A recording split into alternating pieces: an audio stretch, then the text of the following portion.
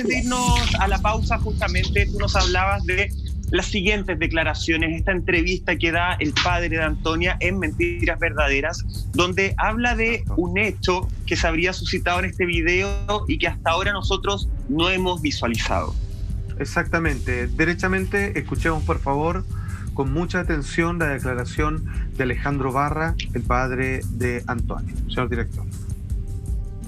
Entonces, en ese video, lo importante de ese video, hay dos cosas. Este forcejeo, que denota, pero, pero gráficamente que mi hija no, no quiere ir donde el tipo la lleva, y la lleva dónde, porque la gente no entiende, la lleva a un rincón del, del, del, del, sector del líder, a un rincón tapado con rama, para cometer, ¿qué comete el, el imputado?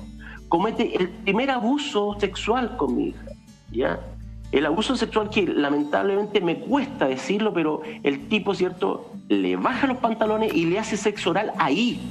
Ahí le hace. Ese es el abuso que él comete. Entonces yo no sé cómo ese abogado puede decir que mi hija fue consentida y iban de, iban de la mano. Ellos fueron los primeros que sacaron pantallazos tomados de la mano. Eso es posterior, después cuando el tipo la tironea y se la lleva. Pero antes pasó esto. Esto fue un delito, el primer delito que comete el imputado. Wow, impactantes declaraciones de parte del padre de Antonia, donde habla de un primer abuso, luego de, eh, lo digo por el caso de la investigación, como hoy día está propuesto, como una supuesta obligación, eh, violación posterior. Y hay testigos, no solamente de la persona que hace este registro, sino también de otros trabajadores que estaban en el lugar que se suman a dichas declaraciones. Ahora, por supuesto que en estos reportajes que hicieron un canal amigo, deciden también ir a las fuentes de quienes se ven apuntados con el dedo con respecto a si es que aquí hubo el cometimiento de un crimen o no. Y es por eso que se acercan a tratar de sacarle algún testimonio al hermano de Martín Pradenas y finalmente lo que él dice en respuesta lisa, corta y llanamente, lo siguiente. Esto es el hermano de Martín y él afirma, estamos trabajando con abogados estamos esclareciendo la verdad de todas las mentiras que se han dicho, de todo este tongo, de todo este chiste, este circo que están haciendo. No sé cuál es su opinión, querido amigo. Oye, estas declaraciones, Alpate, son de, salieron por primera vez el 5 de diciembre en este reportaje de, CNN. Eh, han pasado seis meses, no sabemos cuál es la visión hoy día con, con todos los antecedentes que hay sobre la mesa del hermano, pero mm, eh, compartiendo la, impotencia, compartiendo la, rabia ciudadana que se ha suscitado e, con, este caso. Ya vamos a hablar de una campaña incluso que es de redes sociales. A mí me parece, no sé, Monti Carlos, si, lo comparten, que es muy difícil enjuiciar cuando un hermano quiere defender a su hermano. Eh, tiendo a entender a entender la visión de este hermano. No estoy entendiendo ninguna conducta, quiero que eso quede súper claro. Pero sería súper difícil eh, empezar a lanzarle piedras a un hermano que dentro de la confusión está tratando de defender la honestidad o, la forma de crianza, que lo vamos a revisar más adelante también, de, cómo nacieron ellos. No, sé si me entienden, es, complejo enjuiciar estas declaraciones más pensando que son de diciembre del año pasado, han pasado seis meses. Claro. Sí, es súper complejo y, y también yo quiero rescatar la entereza que ha tenido el padre de Antonia. Yo no sé de dónde saca fuerzas, de verdad es un hombre que se ha mantenido muy firme para mm. ponerle voz a su hija, es una persona que está luchando para que se sepa la verdad y, yo quiero destacar principalmente eso, porque a pesar de todas las cosas que han sucedido alrededor, como este recurso de protección que interpuso en la familia del imputado, eh, todas estas cosas que se han dicho, por ejemplo, las declaraciones del mismo hermano, eh, han mantenido como súper firme también la postura de la familia de Antonia para poder hacer frente a todo este proceso mm. que aparentemente va a ser bastante largo. Bueno, esperemos que la justicia llegue pronto porque claramente em, no, no sé, la familia no se merece quizás pasar por por, tanta angustia tan, tanto rato. Quisiéramos que esto se, se, resuelva pronto. Pero ahora hay otros testimonios contra el imputado que están dentro de la carpeta investigativa y que también eh, se han dado a conocer públicamente. Les pasamos eh, a mostrar entonces estos eh, dichos, estos antecedentes. Ahí está Salpate. Exactamente, hay que decir que estos testimonios eh, intentan, al parecer, tratar de conformar un perfil psicológico de Pradena. Sin embargo, eh, no tienen que ver con el caso en sí, pero ahí le vamos a preguntar a Carlos cuán decidores van a ser. Lo primero que estamos viendo eh, nos viene de una educadora de párvulos del Jardín Mundo Mágico, y que finalmente ella cuenta con respecto a cómo era el comportamiento de Martín cuando pequeño. Dice ella, Martín era un niño inteligente y despierto, pero muy interesado en temas relacionados con la sexualidad. Algunas niñas, ¿cierto? Compañeritas de él, comentaban que Martín las había tocado, pero en ese tiempo no le dábamos tanta importancia, ya que Martín era un niñito, eh, eh, era, era pequeñito nomás, ¿cierto? Conversé con la madre, pero ella al parecer tendía a normalizar su conducta. Por otra parte, aquí viene algo que puede ser un poco más complejo. Este es un vecino de la familia y por tanto de Martín Pradenas. Esto es parte de la investigación y no tiene que ver con el caso en sí. Dice a él, el vecino, se tomaba su pene por sobre la ropa, claramente como un gesto obsceno. Nunca se inmutaba con nada, refiriéndose a Martín Pradena, como si, si sus actitudes sexuales fueran normales.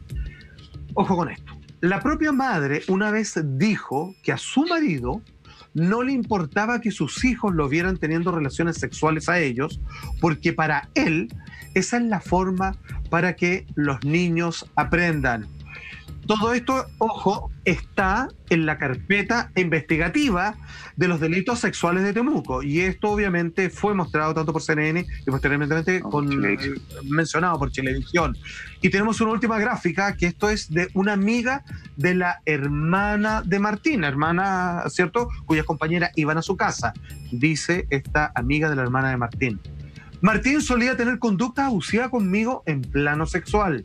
Yo estaba en la cocina de su casa preparando una ensalada y Martín pasó detrás de mí y me metió la mano debajo de mi falda del liceo y me tocó entre las piernas llegando hasta mi vagina, sobre mi calzón.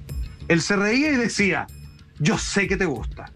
Obviamente me sentí ofuscada, invadida, me molestó, pero no hice nada más. ¿Cuánto, Carlos, va a pesar todo esto y yo no sé si esto, como se vive en Chile, es como con estos antecedentes que sucedería, por ejemplo, esta misma situación en Estados Unidos, que es donde tú trabajas. Sí, bueno, ah, es fuerte escuchar todo esto que, que acabas de leer. Son situaciones mm. que eh, claramente son hipersexualizadas por un, por un menor, en el caso cuando, de la tía del jardín que, genera esto de, la educadora de párvulos, y también, por supuesto, los vecinos. En Estados Unidos, si esto ocurriera ya o se encontraran estos medios de prueba en Estados Unidos, claramente eh, eh, la fiscalía solicitaría un perfil psiquiátrico de los padres, independiente que el imputado ya es adulto, él tiene que velar eh, y, él, tiene que responder ante la justicia por él, por él mismo pero claramente los padres para ver un perfil más general, para saber si es algo que fue provocado o es algo que la persona tiene que tener también algún tipo de tratamiento, porque eh, con todos estos antecedentes, vuelvo a insistir, lo que ocurriría en Estados Unidos es ver absolutamente todas las aristas y, eso sería una de ellas, ver también el perfil eh, psicológico y psiquiátrico de los padres para saber si generó algo eh, durante su infancia. Obviamente eso no justifica en absoluto ninguna de las acusaciones a las cuales se está viendo enfrentado y que vamos a conocer el día 21 de julio. Solo para, para agregar un, antecedente muy breve, que la psicóloga Javiera Donoso, de hecho, hace un, perfil y ella dice en este mismo mm. reportaje de Televisión CNN, se observa una dificultad para respetar los límites de los otros, que al parecer no es nueva, sino que es una tendencia y se viene mostrando desde su infancia. Es un perfil que ella realiza desde la psicología. Hay, Salfate, hay más información. Ya, ya Monty, de hecho, eh, nos adelantaba justamente este recurso de mm. protección que solicita la familia de Martín Pradenas en contra de cualquier publicación de la familia de Antonia? Así Vamos inmediatamente a lo que causó un revuelo a escala nacional, porque eh, quiero de inmediato, señor director, invocar este titular que nos llega del mostrador.cl, en donde la Corte de Apelaciones de Temuco acogió el recurso en favor del acusado, Martín Pradena, de violar a, Antonio, eh, eh, de violar a Antonia Barra. ¿Qué, es lo que sucede acá?